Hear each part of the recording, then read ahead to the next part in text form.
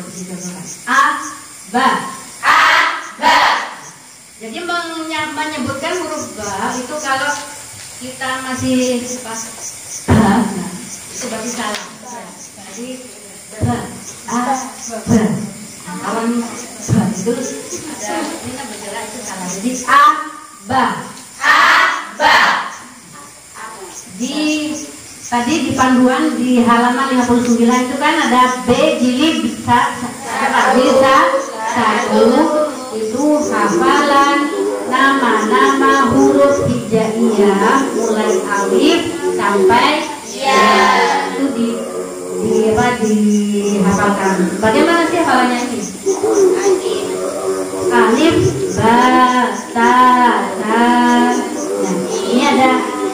ada ya ada alifnya ya berarti panjang ya ada garis miring itu berarti tandanya berhenti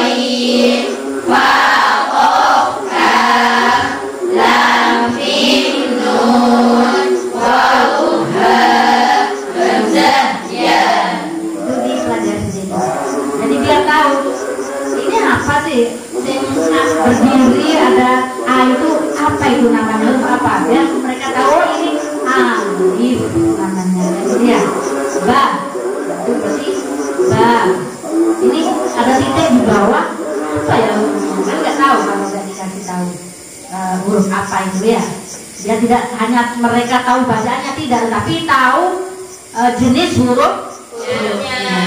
Paham ya? Nah, itu. Makharijul huruf, keterangan Makharijul huruf untuk pemula dan jilid satu prakteknya tanpa lagu seperti eh, contoh, tidak usah lagu eh, sulit, tidak usah ya A, I, U, H, I, U A, E, I,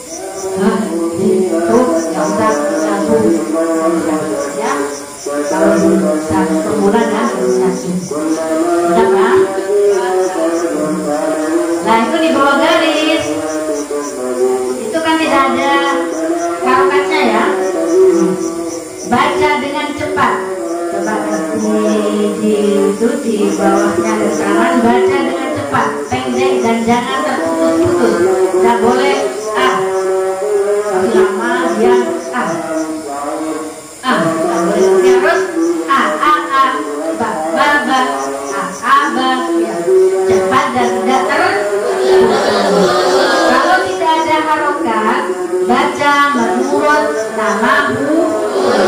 Nah, di bawah garis ini ada harokatnya apa enggak?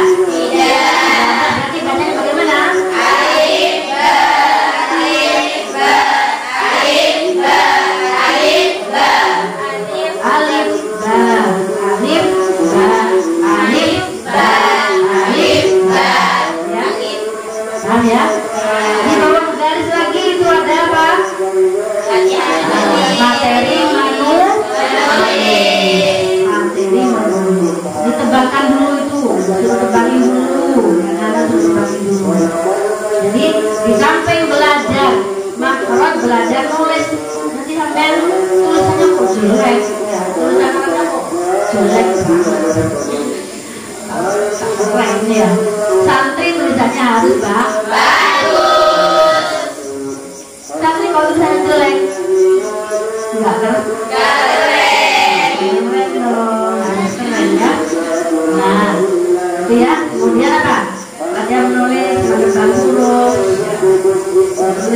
yang tadinya dikumpul lima kali oke baik bapak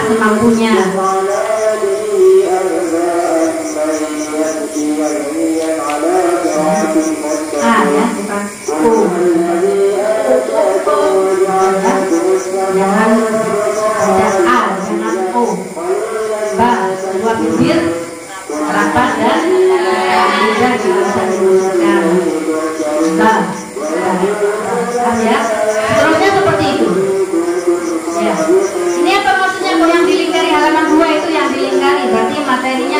Là 干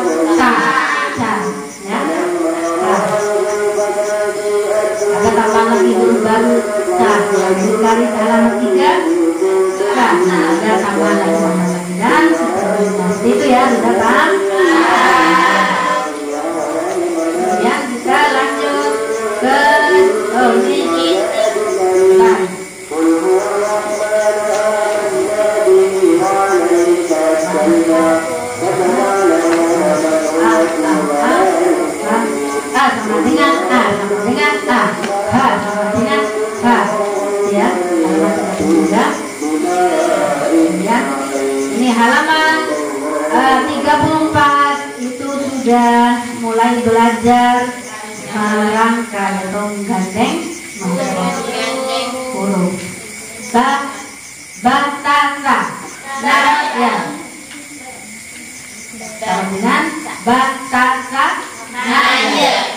Nah, ini harus baca pendek. Sabata, nabata, naba'a itu harus keras ya anak-anak kalau ngaji harus keras tidak boleh pelan sampai punya apa nengling no nengling makan apa nih ya oh sampai tak terlalu yang keras ya? Yang keras kalau ngaji ya yang keras? Jangan.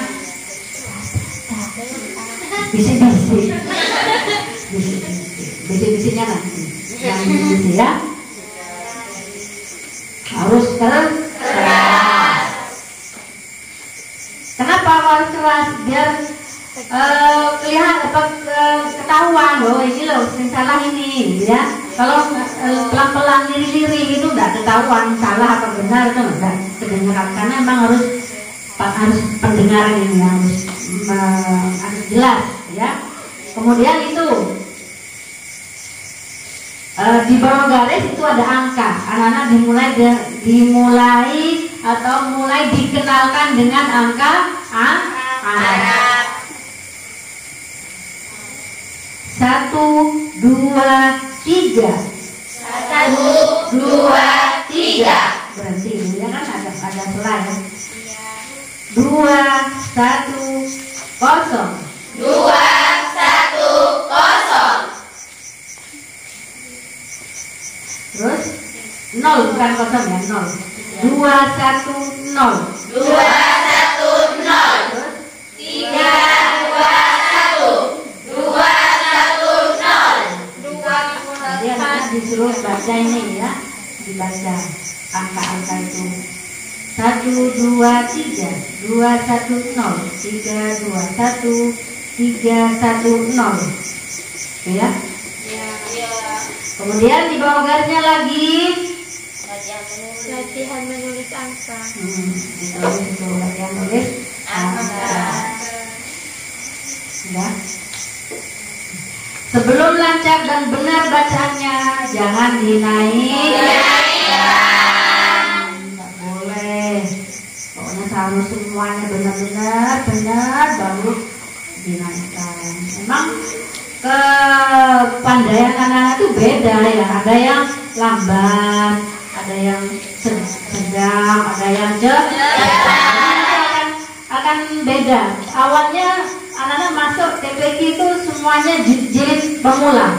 Tapi setelah itu beda nanti. Ada yang sudah jadi dua ada yang masih di pemula gitu ya. Sesuai kemampuan. Nah.